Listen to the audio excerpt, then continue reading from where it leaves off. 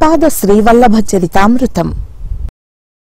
తిరుమల దాసు ఈ విధముగా చెప్పుచుండగా శంకరభట్టుకు ఒక సందేహము కలిగినది. నేను భూర్జపత్రముల మీద శ్రీపాద శ్రీవల్లభ చరితామృతమును రాయిచుంటిని. భవిష్యత్తులో జనులు ఎటువంటి పత్రముల మీద వాటిని వ్రాయుదురో కదా? శాలివాహన శకము ప్రస్తుతము వ్యవహారము జరుగుచున్నది. భవిష్యత్తులో హూణశకము ప్రాచుర్యము వహించునని శ్రీపాదుల వారు సెలవిచ్చిరట. అసలు శ్రీకృష్ణ నిర్యాణము ఎప్పుడు జరిగినది? ఈ కలియుగము ఏ రోజున? ఎన్ని ఘటికల ఎన్ని విఘటికలకు ఆరంభమైనది? భవిష్యత్తులోని జనులు వ్యవహరించు కాలగణనము ప్రకారము భవిష్యత్తులో వారు ఉపయోగించు పత్రము మీద శ్రీపాదుల వారు ఈ విషయములను వ్రాసి ఇచ్చిన నేను శ్రీపాద శ్రీవల్లభులను కేవల దత్తావతార మూర్తిగా నమ్మెదను. శంకరభట్టుకు కలిగిన ఈ సందేహములను తిరుమలదాసుకు చెప్పకుండగానే మధ్య మధ్యలో వారు చెప్పుదానిని ఆలకించు భంగిమలను కనపరచుచు చిరునవ్వును నవ్వుచూ లోహపు శనగల వైపు చూస్తూ ఉండెను. ఇంతలో తిరుమలదాసు గొంతుక బొంగురుపోయెను మాట మాట్లాడుటకు శక్తి లేకపోయెను.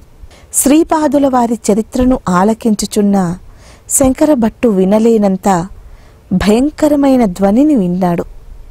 ఆ భయంకర ధ్వని విన్న తరువాత అతనికి ఏ శబ్దములు వినలేనంతటి బ్రహ్మచముడు సంప్రాప్తించినది.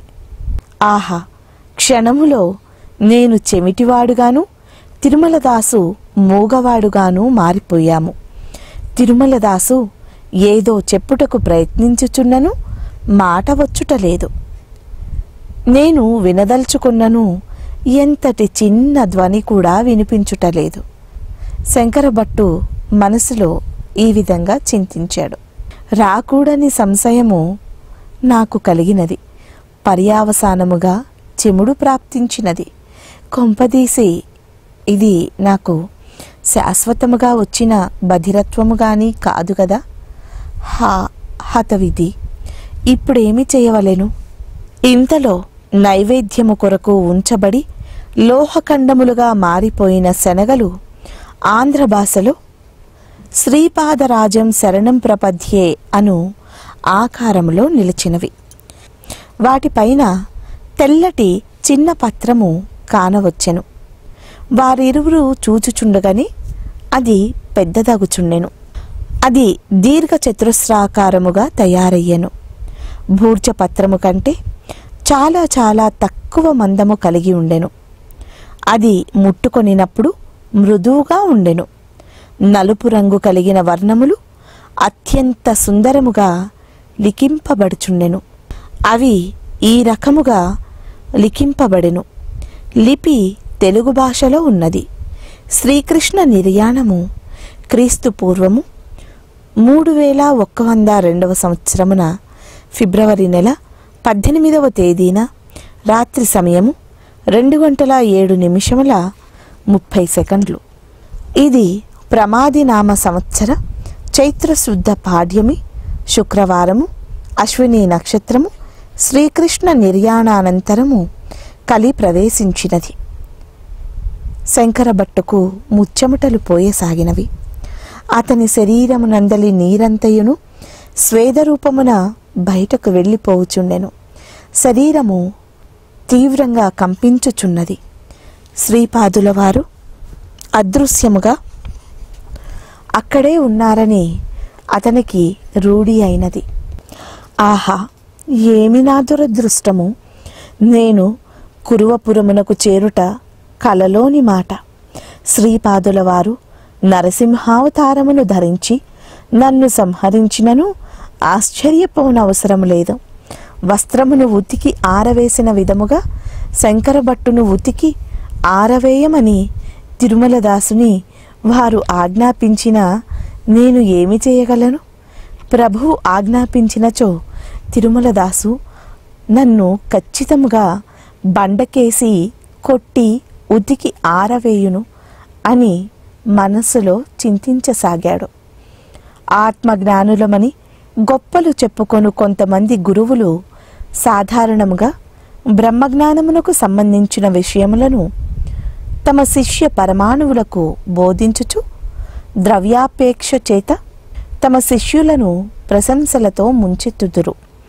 అటులనే పలానా గురువు చేత ప్రశంసింపబడినాను అను అహముతో శిష్యుడు సంచరించును. ఇట్టి గురు శిష్యులు ఉభయులు దోషభూయిష్ఠులే.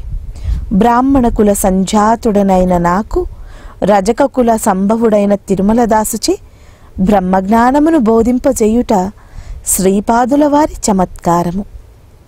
పరిసరములనున్నవారు తమ రజక వృత్తిలో నిమగ్నమై ఉన్నవారే గాని ఇటువంటి గహనతమైన విషయములను గురించి చర్చించువారు గాని అవగాహన చేసుకొనగలవారు గాని కాదు. ఏది ఏమైనను నాకు శ్రీపాదుల వారే శరణ్యము అని మనస్సులో తలచుకుంటూ తిరుమలదాసు వంక చూచాడు శంకరభట్టు. అతని ముఖము ప్రసన్నముగా ఉండి బ్రహ్మ వర్చస్సుతో వెలుగొందుతూ ఉంటుంది. అంతటా శంకరభట్టు మనమున తిరుమలదాసు బ్రాహ్మణుడని మలిన మనస్కుడైన అతను రజకుడని తనకి తోచెను. నైవేద్యముగా ఉంచబడిన లోహ రూపమున మారియున్న శనగలు క్రమక్రమంగా యథారూపమును పొందినవి. శ్రీపాదుల వారు అతడిని మన్నించారని శంకరభట్టు అర్థం చేసుకుంటాడు. మరి కొంతసేపటికి తెల్లటి రంగులో ఉన్న ఆ పత్రము అంతర్ధానమవుతుంది. అప్పుడు తిరుమలదాసుకు మాట వస్తుంది. తిరుమలదాసు ఈ విధంగా అంటాడు. నాయన శంకరభట్టు ఈ కలియుగము లోహయుగము. ఇదంతయును కల్మషములతో కూడిన యుగము. శ్రీపాదుల వారి ఆజ్ఞ మేరకు నేను శరీరమును చాలించిన తరువాత కొంతకాలము హిరణ్య లోకమున ఉండి ఆ తదుపరి తిరిగి మరాఠా దేశమున శరీరధారిని కాక తప్పదు. ఈ మాటలు విన్న శంకరభట్టు ఆశ్చర్యపోతాడు. అయ్యా శ్రీపాదుల వారు మిమ్మల్ని కూడా శరీర పతనానంతరము మరి ఒక జన్మకు రావలసినదని ఆజ్ఞాపించిరా. ఆ వృత్తాంతమును సెలవిచ్చి నన్ను ధన్యుణ్ణి చెయ్యండి అని వేడుకుంటాడు. అప్పుడు తిరుమలదాసు ఈ విధంగా చెప్పడం ప్రారంభిస్తాడు. ఒక పర్యాయము నేను శ్రీపాదుల వారి మాతామహుల ఇంటికి ఉతికిన బట్టలను తీసుకుని వెళ్ళాను. సుమతి మహారాణి మేనమామ అయిన శ్రీధరావధాన్లు గారు శ్రీపాదుల వారిని ఎత్తుకొని ఆడించుచూ ఉన్నారు. దత్త దిగంబర దత్త దిగంబర దత్త దిగంబర అవధూత అని వారు పాడుచుండిరి. అప్పుడు శ్రీపాదుల వారు రెండు సంవత్సరముల బాలుడు. వారు కేరింతలు కొట్టుచూ ఆడుచుండిరి. ఆ దృశ్యము నయన మనోహరముగా ఉండెను. అంతటా నేను శ్రీపాద శ్రీవల్లభ దత్తదిగంబర అంటిని. శ్రీధరావధానులు గారు నా వైపు చూచిరి. అంతటా శ్రీపాదుల వారు నృసింహ సరస్వతి దత్తదిగంబర అనిరి. తాము సాక్షాత్తు దత్తప్రభువులుగా గతములో అవతరించితమని ప్రస్తుతము శ్రీపాద శ్రీవల్లభ రూపమున తెరపై ఉన్నామనియు. తెరమరుగైన తరువాత నృసింహ సరస్వతిగా రానున్నామనియు శ్రీపాదుల వారు తమదైన శైలిలో ఈ విధముగా బోధపరచిరి. శ్రీపాదుల వారు తాత నేను నృసింహ సరస్వతిగా మరాఠా దేశమున అవతరించదలచితిని. తిరుమల దాసును కూడా మరాఠా దేశమునకు రమ్మనుచుంటిని అనిది శ్రీధరావధాన్ల వారి రిపీట్ శ్రీధరావధాన్ల వారి నోట మాట రాలేదు. అంతటా తిరుమలదాసు నేను ఎప్పుడు ఏ రూపములో ఏ జన్మలో ఎచ్చట ఉన్నను? నన్ను దయతో కనిపెట్టి ఉండవలసిన బాధ్యత తమరిది. నాకు మీ యొక్క బాలకృష్ణుని రూపమునందు మక్కువ ఎక్కువ అంటేని. అప్పుడు శ్రీపాదుల వారు తిరుమలదాసు నీవు మరాఠా దేశమున గాడ్గే మహారాజ్ అను పేరుతో రజక కులమున జన్మించెదవుగాక దీన దళిత దుఃఖితుల సేవలో పునీతుడవయ్యేదువుగాక దీసిలా నగరమున సాయిబాబా నామమున యవన వేషమున నా యొక్క సమర్థ సద్గురువు అవతారము రానున్నది.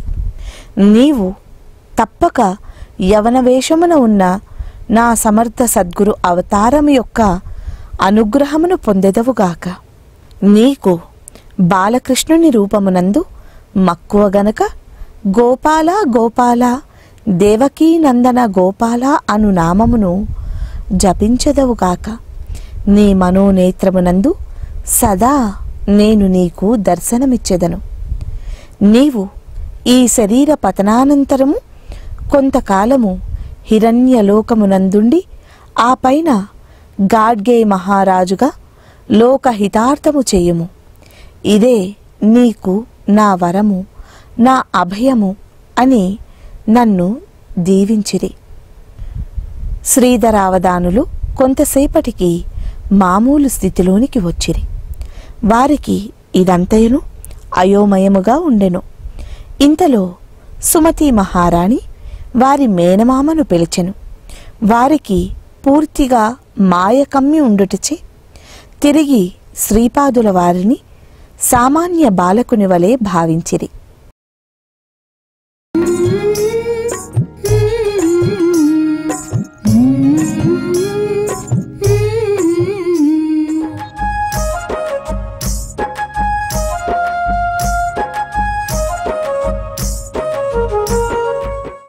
శ్రీపాద శ్రీవల్లభ చరితామృతం.